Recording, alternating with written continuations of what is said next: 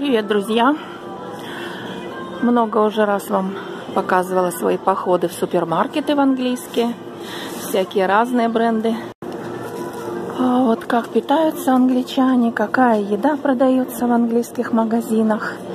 Это уже говорено-переговорено, но я вот что-то стала обращать внимание на некоторые вещи, которые сейчас вот хочу конкретно выделить и с вами ими поделиться своими наблюдениями. Что касается рыбы и морепродуктов.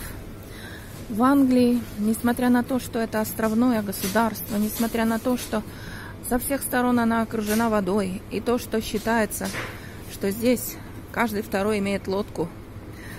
Вот, не знаю, как насчет рыбаков, но, но в общем, понимаете, ну, что рыба должна быть. Ну вот посмотрите выбор, я уже тоже обращала внимание, сколько раз. Вот селедка, камбала, дальше филе э, трески завалящие, вот опять камбала. Так, что тут еще? Ну вот это сальмон, конечно, как обычно, то есть лосось, это выращенный не на море.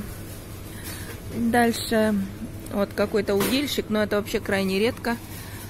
Э, и потом, э, я не знаю даже, какой, какой он по вкусу. 12 фунтов какой-то дорого стоит. Вот эта рыба, э, которая постоянно, Sea постоянно тоже продается. Костлявая, невозможно невкусная. Вот это весь выбор рыбы. Можете себе представить? И если вы думаете, что это только сейчас, нет, это так всегда. Вот такая вот. И это большущий супермаркет, я вам показываю. А, когда я была в Испании, можете посмотреть, в Тенарифе я тоже э, показывала вам супермаркеты. И там просто стеллажи с этой рыбой тянутся и тянутся и тянутся. Свежайшая, да в том же Тунисе кругом. И креветки, и все, что хотите. Здесь не креветок. Вот, кстати, креветки. А, вот, надо же, увидела. Королевские креветки 25 фунтов они абсолютно не свежие, они уже 10 раз перемороженные. И вкуса никакого не имеют, грубые и невкусные. Ну вот еще какие-то гребешки тут, видите? Мясо гребешков 28 фунтов за килограмм. А, ну и вот еще форель. 5,50 за килограмм. Все. Это держава, которая стоит на море. Мне кажется, даже у нас это больше выбор морепродуктов и рыбы. И вот тут, тут же рядом, видите, вот это вот смок, так, как так называется у них. Смок, то есть соленая, копченая рыбка. Это все филе и все прочее. Я такое, такое вообще не покупаю, потому что, насколько мне объяснили те, кто здесь работает в этих магазинах, вот если у них заваливается свежая рыба, то есть она завалялась, ее никто не купил, они ее коптят, солят и вам опять впаривают. Здесь то же самое, как и везде. Ничего другого пока не придумано. Главное, Тут еще, деньги. конечно, есть вот такие вот упакованные, вот видите, почищенные, упакованные креветки, мелкие, крупные. Вот, 200 грамм, 2,50. А, вот такая, 3. Это 3,50 большая. Все по 150 грамм. А, ну вот, 3,50. Seafood Selection. То есть кальмары немножко, немножко мидии, немножко Э, хвостиков креветок 3,50 200 грамм.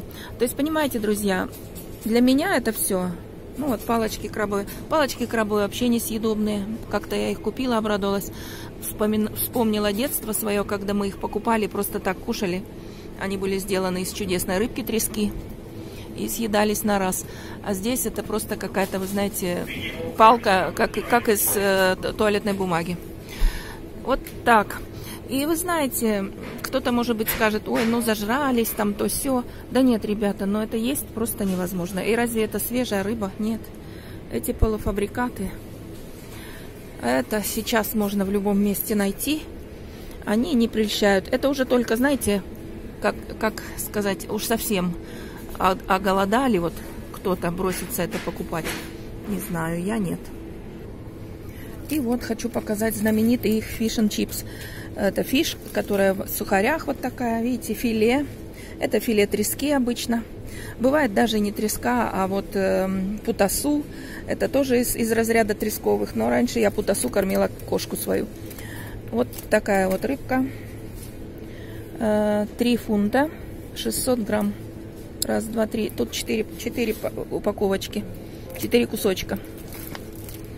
Ну, не знаю. Нет, несъедобное для меня это все. Я человек рожденный у реки, у моря и знаю, что такое рыба свежая. Я, по-моему, вам никогда не показывала, э, сколько здесь стоит вот такая вот зелень.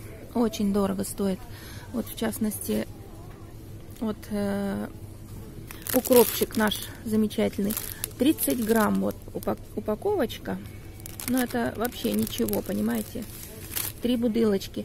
72 пи. Точно так же вот этот вот такой лучок тоненький. 72 пи. Вот розмарин. Свежий, тоже 72. Тут какой-то шампайр, не знаю, что это такое. Тоже 72. Вот лимонная трава. Два вот таких малюсеньких штучки. 80 пи. Ой, вот это вот какая-то свежая. Даже не знаю, тайм. Что за тайм? Тоже 72. Вот такое вот. Но здесь побольше. Это обычная петрушка. Здесь 70 грамм. 72 пи. Вот такая и такая петрушка. Видите? Я не смотрю на экран, может вам. Так, вот трава ментол. 30 грамм. 72 пи. Понимаете, да? Ну вот, э, э, фунт 50, вот такой большой. Большая такая упаковка петрушки.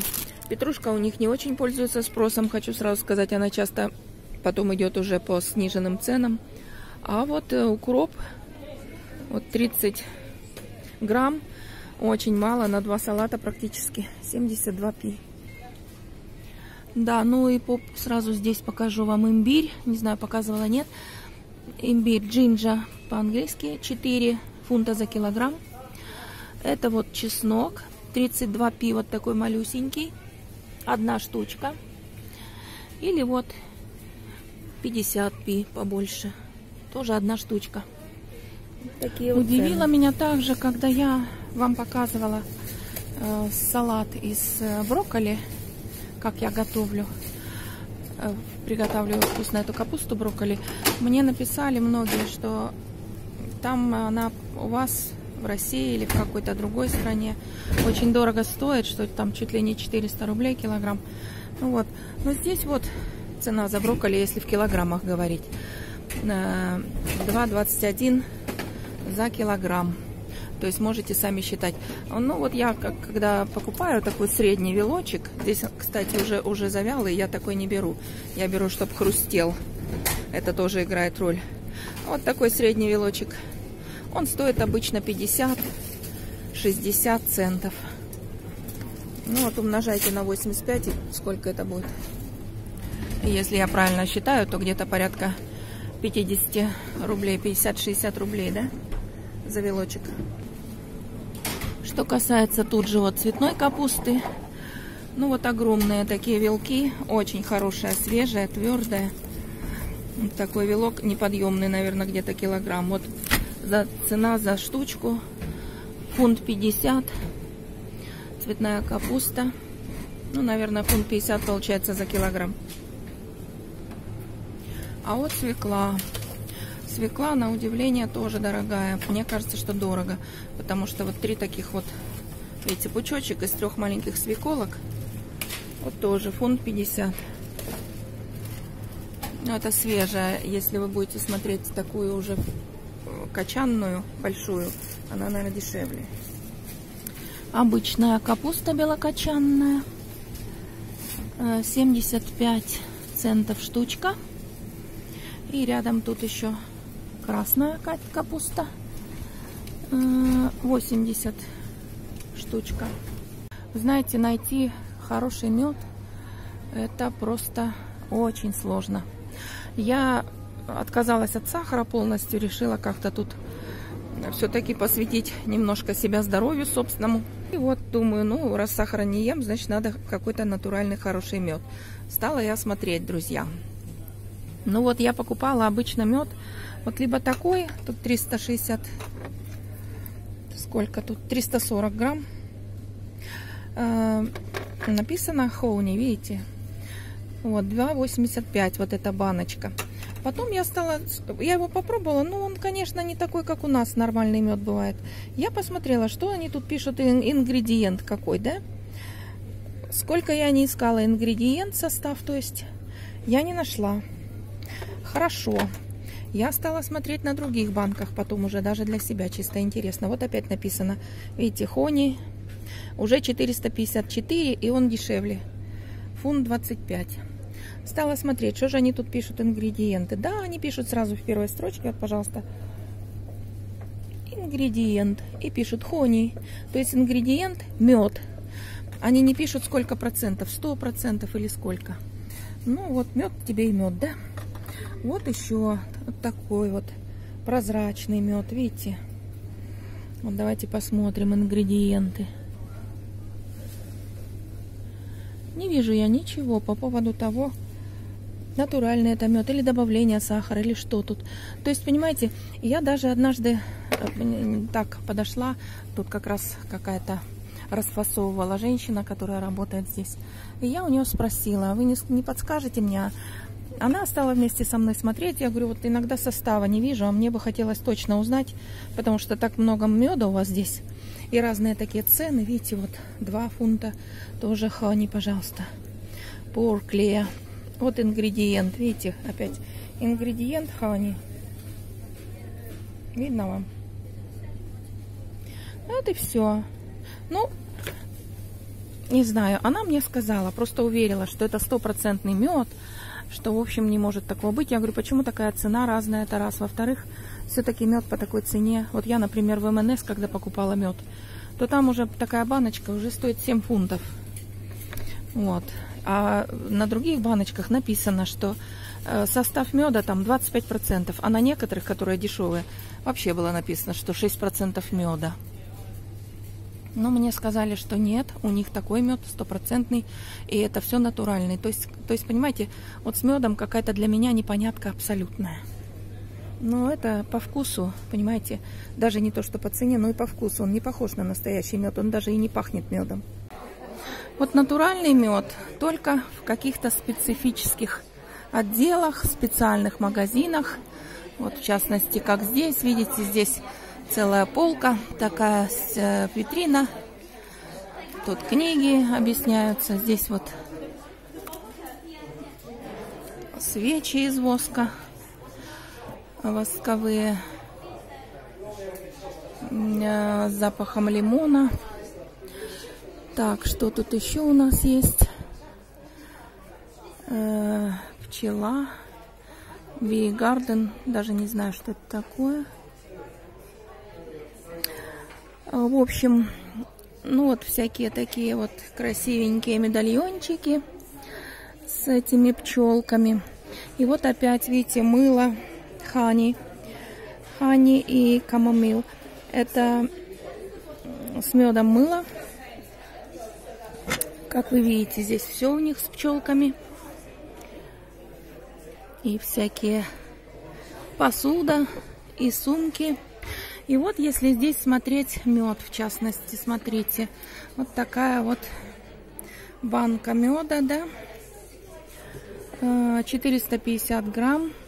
Тут даже внутри видно, что соты.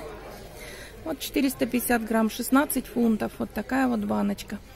И даже может быть, что тут добавка сахара у них, как обычно. Вот такая меньше баночка. 12 фунтов. Я смотрю через камеру. 240 граммов. Мне неудобно смотреть. Вот, 12 фунтов. А вот это уже, видите, 5,50.